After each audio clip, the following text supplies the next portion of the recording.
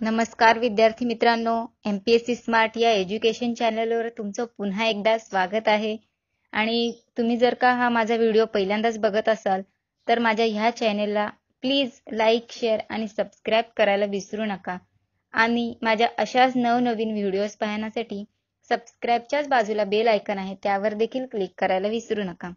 चला तर मग विद्यार्थी मित्रांनो आजच्या भागामध्ये आपण गणित गणित या विषयाची सुरुवात करणार आहोत. तर तुम्हाला माहीतच आहे की गणित हा विषय या स्पर्धेच्या युगामध्ये खूप महत्त्वाचा आहे. गणिताचा विषय सतत अभ्यास म्हणजे सतत प्रॅक्टिस केली तरच हा विषय समजण्यास अत्यंत सोपा आहे. याचा जर अभ्यास करायचा आहे आपल्याला तर याची आपण सुरुवात बेसिक पासूनच केली पाहिजे. जर बेसिकच जर आपलं पक्क झालं तर पुढचे चॅप्टर आपल्याला लवकरात लवकर समजण्यास मदत होईल. त्यामुळे आपण आपलं जे बेसिक आहे तेच आपण आधी बघूयात. त्याच्याच कन्सेप्ट क्लिअर करूयात.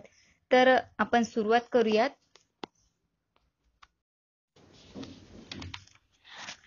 आजच्या या भागामध्ये आपण संख्यांचा अभ्यास करणार आहोत. तर पहिल्यांदा आपण नैसर्गिक संख्या बघूयात.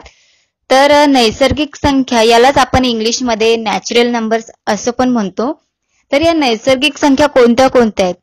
त्या म्हणजेच कोणत्या? तर एक दोन तीन चार पाच पुढे अशा अनंतपर्यंत वाढत जातात.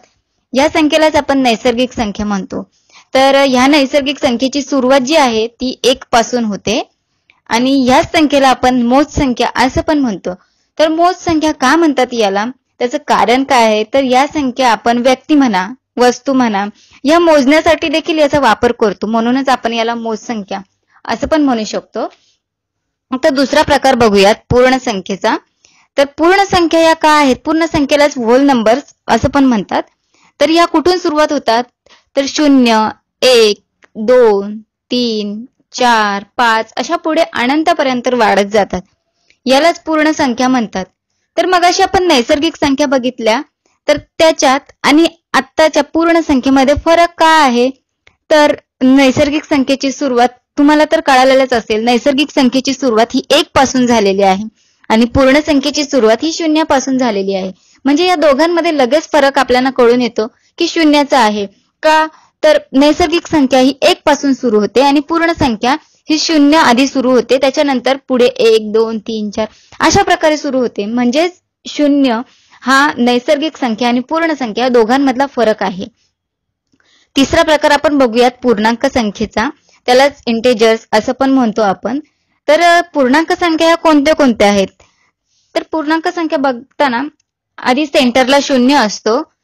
त्याच्या उजव्या बाजूला एक दोन तीन चार अशा अनंतपर्यंत पुढे संख्या वाढत जातात. आणि त्याच्या डाव्या साईडला वजा एक वजा दोन वजा तीन वजा चार अशा पुढे अनंत वाढत जातात. या ज्या संख्या आहेत त्यांचा म्हणजे संख्यांचा मिळून झालेलं आहे त्यालाच आपण पूर्णांक संख्या असं म्हणतो. तर पूर्णांक संख्या पण तुम्हाला कळालेल्या असतील असं तर पुढचा चौथा प्रकार बघूयात. मूळ संख्येचा. तर मूळ संख्येलाच आपण प्राईम नंबर्स असं म्हणतो. आता मूळ संख्या म्हणजेच काय?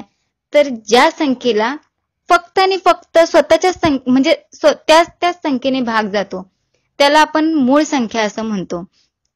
उदाहरण बघूयात आपण एखादं. सतरा. सतरा जर सतरा ही संख्या घेतली तर सतरा या संख्येला दुसऱ्या कोणत्याच संख्येने भाग जात नाही.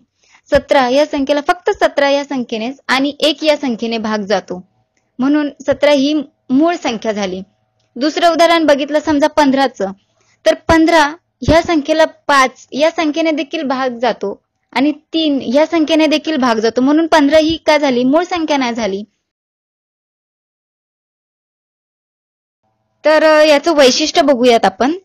याची सुरुवात कुठून होते? तर मूळ संख्येची सुरुवात ही दोन पासून होते. तर दोन नंतर तीन पाच सात तेरा अशा म्हणजे ज्यांना ज्यांना भाग जात नाही दुसऱ्या कोणत्याच संख्येने फक्त आणि फक्त त्याच संख्येने भाग जातो या मूळ संख्या झाल्या. तर मूळ संख्येमध्ये सर्वात लहान मूळ संख्या कोणती? तर ती आहे दोन. आणि ही एकमेव अशी दोन ही एकमेव अशी सममूळ संख्या आहे. आणि ती सर्वात लहान देखील आहे. तर आपण एक पासून शंभर पर्यंत जर बघितलं तर एकूण पंचवीस मूळ संख्या आहेत. आणि जर आपण एक पासून ते पन्नास पर्यंत बघितलं तर पंधरा मूळ संख्या आहेत. एकूण पंधरा मूळ संख्या आहेत.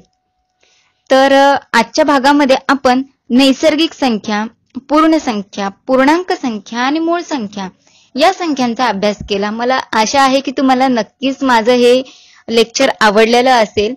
तर आपण पुढच्या लेक्चरमध्ये बघू सहमूळ संख्या परिमेय संख्या त्रिकोणी संख्या आणि चौरस संख्या. ह्या संख्यांचा आपण पुढच्या भागामध्ये अभ्यास करूयात. तर आजसाठी एवढंच.